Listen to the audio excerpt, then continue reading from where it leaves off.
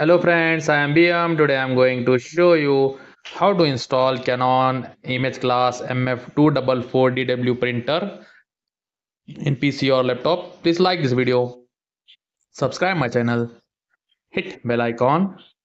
Okay, let's start the video. First open browser. Okay, type here canon.co.in for official website. Okay. Website is open. Scroll down.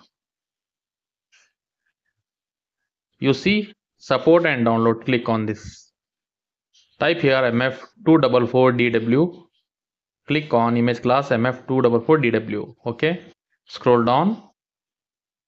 Click on windows 64 bit mf2 249 dw 2460w click on this. Click on download.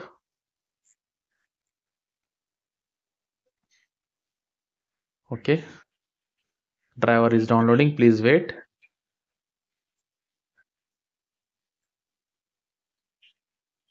It's take a time. Please like this video. Subscribe my channel. Hit bell icon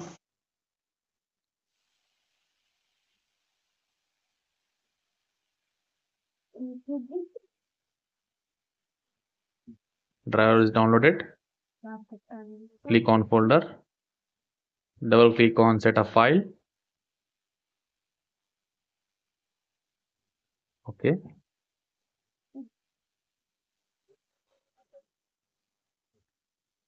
Click on yes. Driver is extracting. Please wait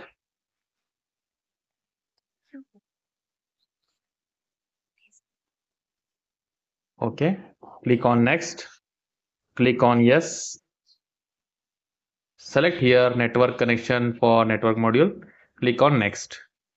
Click on yes. Okay. Searching for device. Please wait.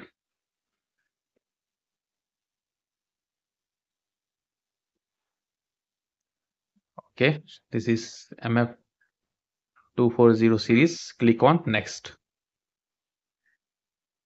There is the option driver to install printer and scanner. Click on next.